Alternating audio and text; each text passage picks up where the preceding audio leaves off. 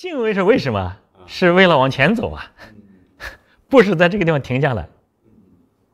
啊，我们不要这个畏不是畏惧的意思啊，就是你发自内心对他的那那种价值这的一种认同。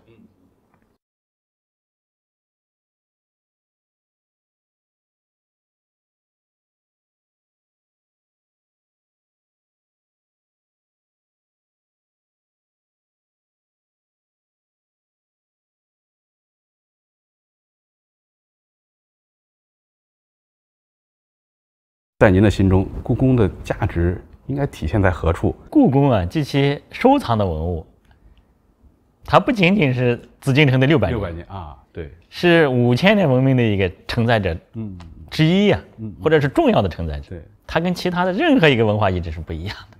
对对对，就是紫禁城的它的从它的规划到呃设计到呃建造完成，但之后的这样的不断的去呃完善，每一每一步啊，实际上它都体现在我们这个民族的文化呀，包括建筑文化啊，包括我们的是对自然的认识、对社会的认识、对人的认识啊，自然、社会、人之间的关系的认识啊，它都会体现在这样一个建筑群的皇家建筑群的这规划建设中中间去。嗯，这是一方面。第二方面呢，所有这些创造都是劳动人民对创造出来的，可以看到一种工匠精神，对，可以看到我们呃每一个单体建筑啊，每一个角落，每一个构件啊，它带给人们那样一种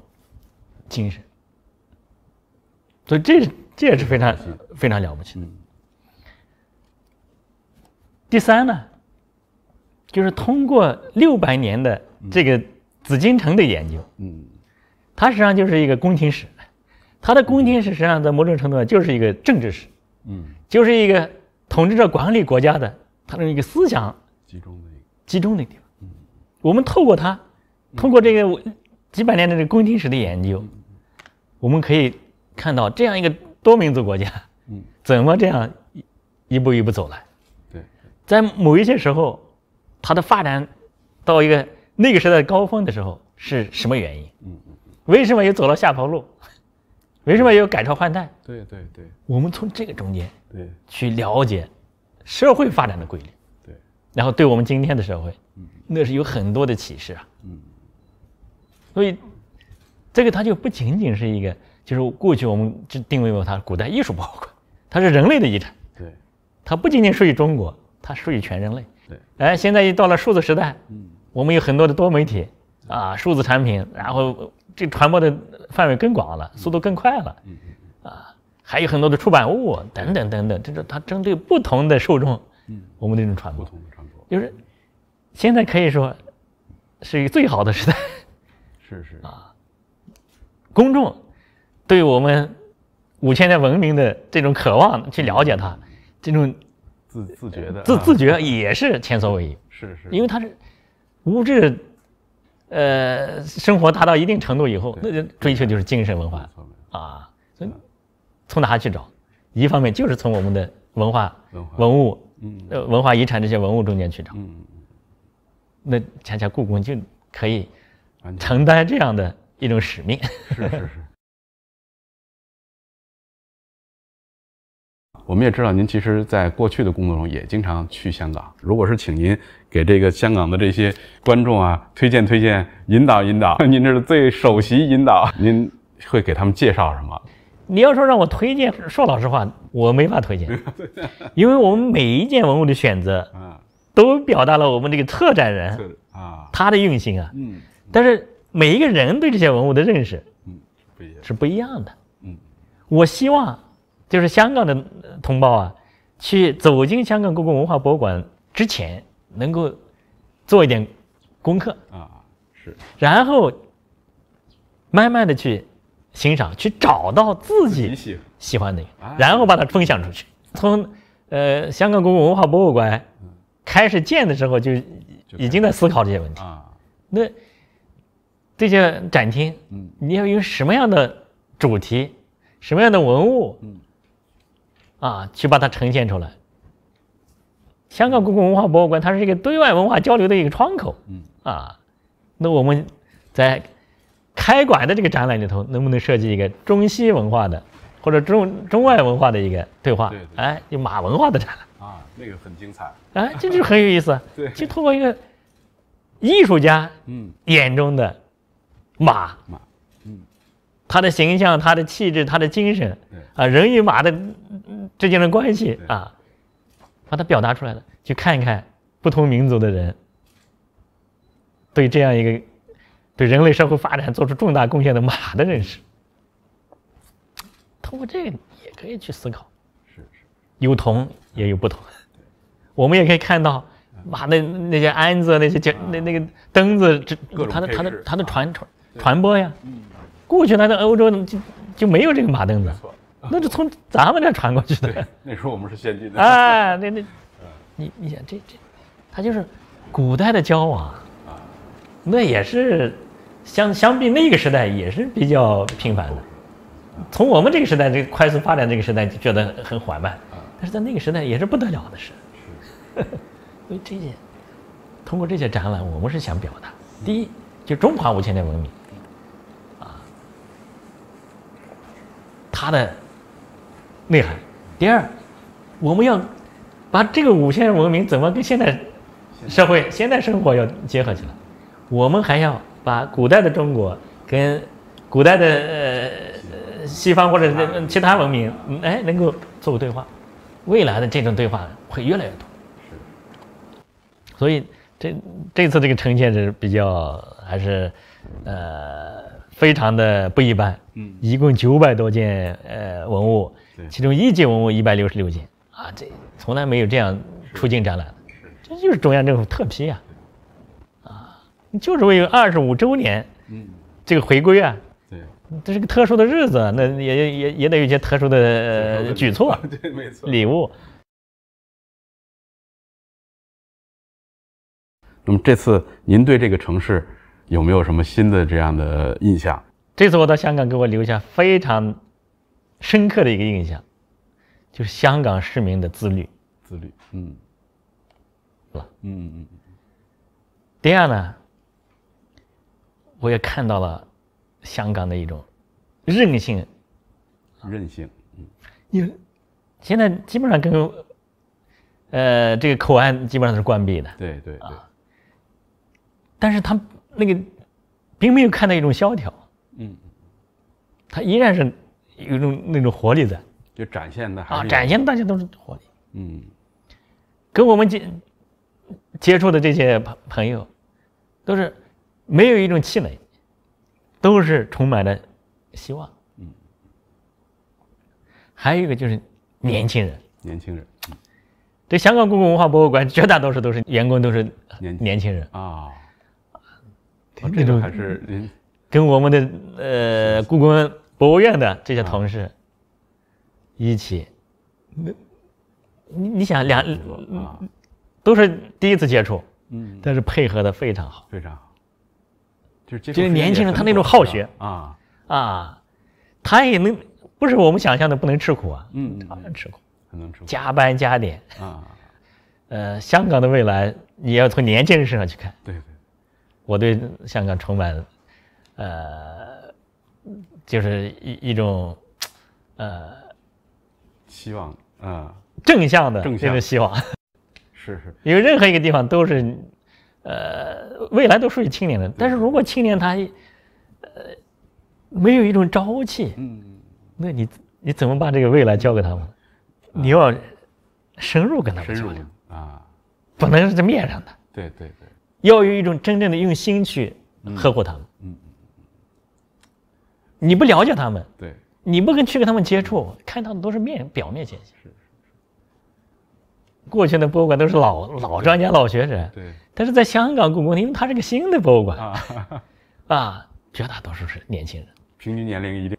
啊，我觉得就是可能就是三十岁左右。是是充满朝气。啊，充满朝气，啊，就是他们愿意加入这个团队。那那你想，是。这这这是，呃，这说明他对这这个职业，他的这个职业他是充充满着一种嗯，呃喜呃喜爱喜爱，对，啊，他不喜爱，他不可能去选择这个地方啊，因为工工资待待遇并不是对，要跟其他行业一比，不是很高的啊。当我看到他们那样一种朝气的时候，我觉得香港故宫文化博物馆的未来跟故宫博物院的这种合合作的那那个愿景啊，一定会实现。充满希望。呃，其实很长时间，香港的很多有识之士，不管是实业家、企业家、机构，其实都有跟故宫有很多的渊源。包括我好像知道，包括咱们现在所在的这个建福宫，都是有很多的渊源。就是故宫博物院和香港的这些渊源，是吧？是在在在其中起到了一些什么样的一个作用？之所以能够引起这些香港同胞他来，呃，出钱出力是是啊，来对故宫及其这些文物进行保护啊、传播啊、研究，包括人才培养，是是，是因为他对中华文明的一种敬畏和认同。对，他没有这样的敬畏和认同，他不可能莫名其妙，他为啥要要给你捐捐钱呢？对对为啥要给你培养人才呢？对，呃，我们说到这个建福宫的它的福建，是是，实际上就是香港的陈启宗先生，嗯。他成在香港成立了个香港中国文物保护基金会。啊，是是。啊，是，就用这个他的他捐捐钱，然后通过基金会来做这个事。他不仅仅是捐钱呀，他是把一种比较好的一种管理理念啊，对。啊，还有一些文物保护的理念对对都带进来，然后又结合我们内地的长期的这样的文物保护的经验、嗯。技术，嗯，还有我们内地的保护理念，就是一个结合。对，这才能够有这样一个建福宫花园的复建工程的完成。后来又扩大了，又扩大到中正殿去嗯，啊，现在又扩大到养心殿的保护。宝啊，嗯。啊。我觉得我们跟这些社会呃慈善家呀或者企业家的合作呀，我们不仅仅是看重的他捐多少钱，对。关键就是他这种精神，对对，他带来那种影响力，影响力。就是让社会各界都来关注我们中华文明，是是是，它的保护传承，嗯。这是远远大于就是金钱的那那这个作用。钱那个作用可以花完的，但是他留下的一种精神是可以一直传下去的没错，它可以影响更多的人。我觉得更主要的是影响那些年轻人。年轻人。就是香港要打造中外文化交流中心这样的一个概念。香港在这方面，就是中外文化交流这方面，能够有什么样特殊的作用？嗯从您的角度，也想听您说一说。然后您有什么样的这种建议？嗯那你中外文化艺术交流中心，那你必须要这个平台一定是一个国际化的。对对对，那香港就是一个国际化的大都市，它是国际金融中心、对，航运中心、贸易中心。嗯，我觉得还有一个创新中心。创新中心，这个这个城市的创新力是非常了不起的。对。这个文化是一个非常重要的一个纽带，对，就了解自己的文化，嗯，你才会充分的去认识别人的文化，有有有那么一种欲望 去认识别人的文化，然后才会去学习别人的优秀的东西，最后达到一个就是我们真正的文化交流融合，文文明互鉴，形成一种符合这个时代的一种文化形态。那香港的这个地位，实际上也决决定了我们香港故宫文化博物馆这个地位。那你怎么从这样一个机构去融入到香港的未来的发展中间去，融入到香港就是它的中外文化交流中心的这样一个定位中间去？这实际上是我也是非常看重的一点。啊，就是要怎么发挥香港的优势。因为文物研究，香港就是故宫文物的研究，这是故宫博物院的优势。是是，那我们怎么发挥香港故宫文化博物馆的它它的优势呢？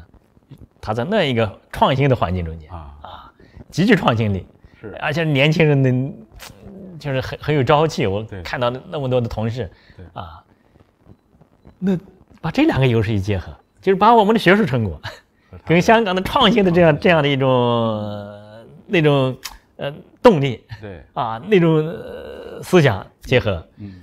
创造出一个符合我们这个时代的，就是符合这个时代生活美学的那些呃文化创意产品。您现在对香港故宫的这种期待，其实已经不是简单的北京故宫和香港故宫的一种期待，呃，尤其在香港，它有很多想法，很多各种各行各业都在主动着想，我能够在故宫这个概念下，我能够做一些什么事情。在更大范围内，您看还有什么建议？我觉得香港故宫文化博物馆的未来啊，呃，就是要以故宫的呃文物嗯，为核心，核心，嗯，然后对话。对话世界，对话世界，这是一个。嗯。另外一个呢，就是要透过故宫这些文物承载的中华文明，嗯。要让香港的同胞嗯。这种文化认同变得就是一种，变成一种文化自觉。嗯嗯嗯。呃，一定透过这样一个平台，嗯。要加大嗯，就是内地跟香港的嗯这个全方位的交流里头嗯，尤其是年轻人啊嗯，我觉得要嗯。呃多，就是香港的年轻人要多向到内地来，嗯到自己祖国的那个大好河山去看一看，到那些文化遗呃遗产地去看一看啊，那我想他的世界观、他的价值观、人生观都都会有一定的影响。内地的年轻人也要去香港看看，没错，看一看香港啊，在回归了二十五年，他这个发展那那那那那种活力对啊变化啊，那跟我们的一一一些比较，也不要各河相望，甚至是各山相望，那那都是这都不行啊，要走动起来。哎就是年轻人，我觉得年轻人要走动起来。对对，香港的背后是是强大的祖国，对对对，香港公共文化博物馆的背后，那也是资源丰富的、学术专家学者众多的一个故宫博物院。嗯但是我们不会说是完全去好像干涉，那不是这样的。我们是一种平等的、嗯相互支持的，嗯，但是一定要融入到整个国家的发展规划中间去。我们之间，嗯，我相信未来一定是同步向前。是是是。